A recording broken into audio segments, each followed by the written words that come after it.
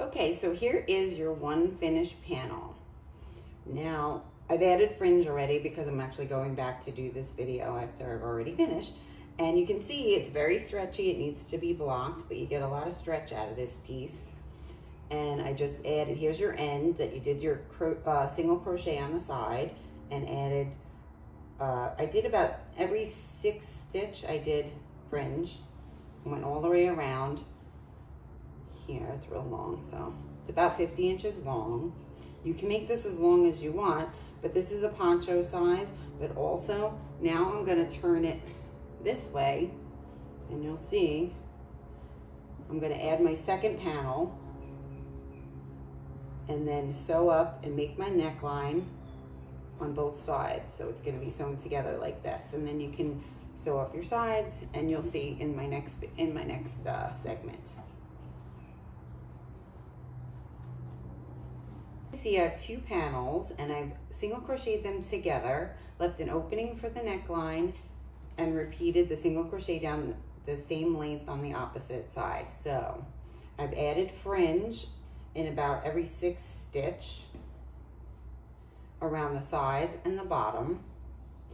And you can wear it this way as a tunic. You can uh, you can also choose to sew in the middle and if you don't want the single crochet. I kind of like this seam. It's just fun. I like a little texture to my items but you can decide what you want to do if you want to sew it up or if you want to single crochet.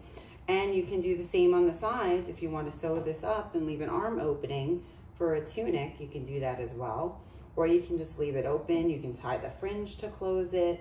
Um, you can uh, wear it the opposite way to the side for a poncho as well. Uh, you can see it's very stretchy. So once you block it, it'll stretch out a little bit more too. And this yarn gives it a nice weight that's why I like this yarn for the flat panels. So let me just show you real quick. If you go this way, here's your poncho.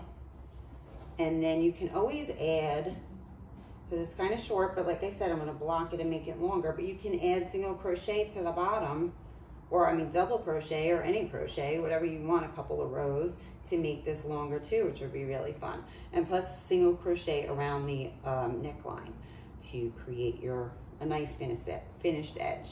So there you have it. Here's your poncho. I hope you enjoyed this tutorial and please subscribe to my channel for more tutorials. And thanks for joining me and have a great day.